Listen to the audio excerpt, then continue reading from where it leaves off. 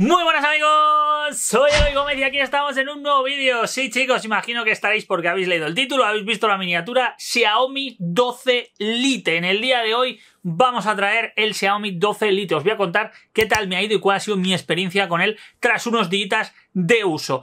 Antes de nada, deciros que este vídeo ha sido gracias a la gente de Movimur, una tienda de teléfonos móviles que vamos a empezar a colaborar con ellos más de seguido. Nos van a conseguir bastantes productos para poder enseñaroslo y deciros que es una tienda de España que tiene teléfonos móviles y productos de tecnología como componentes de ordenadores y todo lo que podáis imaginar, auriculares y demás, todo lo que imaginéis de componentes eh, de cosas de tecnología, no de componentes, sino de cosas de tecnología, lo tienen en su web. Ahí tenemos el Xiaomi 12 Lite y deciros, chicos, que, como digo, vamos a empezar a colaborar con ellos y que gracias a ellos podemos hacer este vídeo. Así que no me enrollo mucho más y empezamos hablando del terminar de este Xiaomi 12 Lite. Lo primero que vamos a hablar es del diseño. El diseño a mí personalmente me parece bastante, bastante bonito, sobre todo en este color verde, creo que es un diseño bastante acertado, un diseño bastante bueno y para ser un lite no da la sensación en la mano de ser un lite. Aquí lo podéis ver, os lo pongo en esta cámara de aquí, no en la de la, en la, de la mesa, aquí podéis ver el diseño, eh, os lo digo, cuando lo llevas en la mano unos días no da la sensación de lite para nada, pero para nada, así que, oye, eh, en cuanto al diseño, un diseño bastante, bastante bien conseguido. Ya sabéis que el tema de los diseños al final es algo muy personal, es algo que nos tiene que gustar a cada uno. A mí personalmente así los teléfonos planos y demás, pero es algo personal, no me llaman mucho la atención, pero cuando lo llevas usando unos días, oye, se adapta bien, lo tienes bien y el diseño es bastante, bastante bonito. Así que en cuanto al diseño no me voy a enrollar mucho. Este color verde, eh, poquito, poquito más que añadir. Ya digo, como esto en tema de los diseños es algo muy, muy personal, pues chicos, a mí personalmente el conjunto del color verde como con la estructura del dispositivo me gusta bastante, ¿eh? pero bastante. Bien chicos, vamos con el apartado de software. En el apartado de software nos encontramos la capa de personalización de Xiaomi, MIUI 13, una capa de personalización que a medida que ha ido pasando el tiempo lo han ido mejorando y este MIUI 13 se adapta muy bien al dispositivo, así que, que en cuanto al tema de software no vamos a tener ningún problema, ya es que te guste más o menos la capa de personalización, pero bueno, todo el que conoce Xiaomi sabe que esta capa de personalización a fin de cuentas es bastante práctica, con muchas funciones y es lo que incluye en este dispositivo. Bajo la capa de personalización desde MIUI 13 nos encontramos Android 12. Nos encontramos, como digo, Android 12, MIUI 13, una combinación actualizada a lo último que tiene la marca y a la base eh, de Android. Así que, oye, en cuanto al tema de software, a mí me ha ido bastante bien, me ha adaptado bien, no he tenido ningún problema relevante, o sea, no he tenido ningún tipo de problema.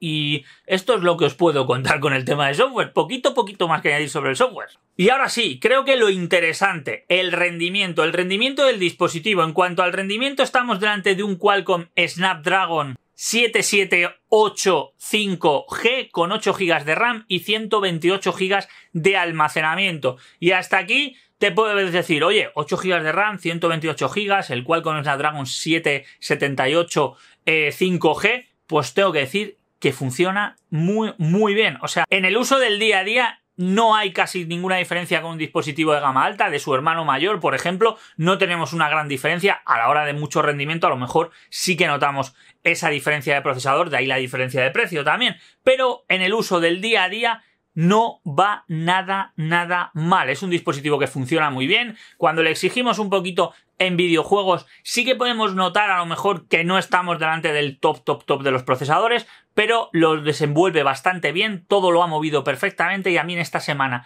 de uso más o menos que llevo usándolo, no me ha dado ningún problema de rendimiento. Como estáis viendo, los juegos que le pongamos los mueve y demás sin ningún tipo de problema. Ahora bien, la batería. En cuanto a la batería, estamos delante de una batería de 4300 mAh junto a un cargador de 67 vatios. O sea, esto hay que remarcarlo porque la batería, y a lo mejor es el mini punto negativo que le puedo poner al dispositivo, la batería, si le das muchísima, muchísima caña, al final del día es posible que llegue un poquito justa. A mí, en el, el 90% del tiempo me ha llegado prácticamente al final del día sin ningún problema, pero sí que el día que a lo mejor le he dado mucha caña, sobre todo con tema videojuegos, cuando he hecho las pruebas más a fondo con el tema de videojuegos, con el tema de vídeos, de ver vídeos, de mirar qué tal funciona la pantalla y demás, de darle un poco de caña, pues al final del día ha llegado un poquito justito, pero claro, tenemos un cargador de 67 vatios que nos va a dar esa opción de cargar el dispositivo francamente rápido. Tengo que decir que en una media hora más o menos tenemos casi el dispositivo completamente cargado, ¿eh? O sea, media hora, 45 minutos. Mm, no hice la prueba con el cronómetro, pero yo creo que entre media hora y 45 minutos vamos a tener más del 80% de batería y eso es de agradecer. Como digo, si le das una caña extrema, es que da igual que sea un gama alta, que sea un gama media, que sea una power bank conectada a tu teléfono. Te la vas a fundir. Pero que sepáis que este es el rendimiento que yo le he sacado.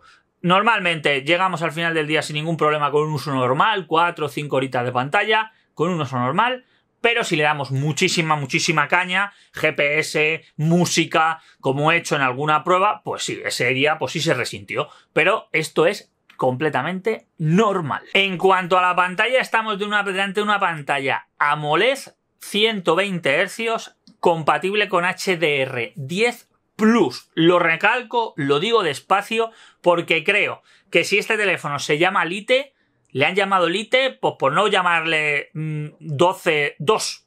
Pero de Lite, con estas especificaciones, tiene poquito, ¿eh? Tiene poquito. Así que, chicos, la pantalla, la pantalla para consumir multimedia, para enfrentarla a cualquier situación, se ve espectacular. Mira, os lo voy a enseñar aquí, que tengo los dos focos. Mirad. O sea, mirad, con el foco ahí de frente, no pierde casi brillo, con el otro foco, o sea, tengo los focos de frente y la pantalla se ve espectacular. Que grabando, cuando me he puesto a grabar, la pantalla y demás, con los focos puestos, se ve espectacular. En la calle os tengo que decir que también se ve muy bien. No he tenido ningún problema y creo que la pantalla es un punto fuerte de este dispositivo. En cuanto a la cámara, la cámara 108 megapíxeles la principal, 8 megapíxeles y 2.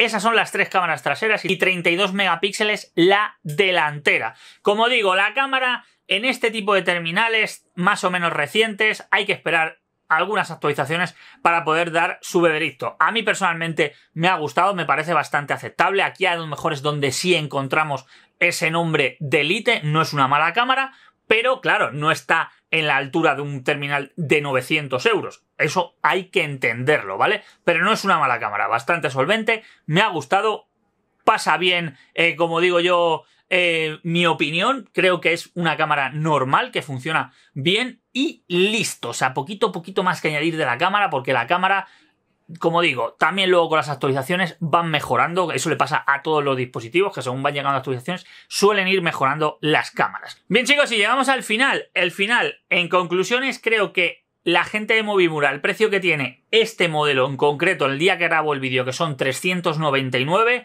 399 euros, creo que es un precio muy, muy equilibrado y estamos de un terminal que en relación calidad-precio da lo que ofrece y eso es bastante, bastante bueno. A mí, en líneas generales, me ha gustado y si le tengo que poner dos peros, pero que son dos peros muy grandes, ¿eh? O sea, digamos dos peros que no serían dos peros. La batería, si le metes mucho uso, pues a lo mejor al final del llega te llega un poquito justa. Pero como digo, en caso de que le des un uso muy alto.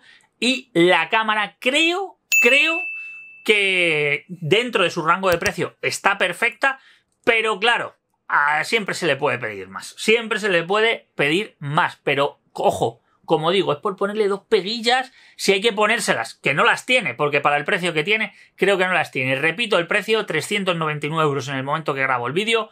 Entré en la página de Movimur, que son la gente que nos, lo ha, que nos lo ha cedido, que nos lo ha prestado para probarlo, y ellos irán poniendo ahí los precios y vais viendo. Pero mi opinión, y lo repito, mi opinión me parece un terminal relación calidad-precio de los mejores actualmente. Y de Elite tiene poco. Yo lo llamaría 2. Xiaomi 12 2. Porque de Elite tiene poco. Así que yo no me enrollo más. Decidme qué opináis en los comentarios. Nos vemos en un próximo vídeo. Un saludito. Chao, chao, chao. Adiós.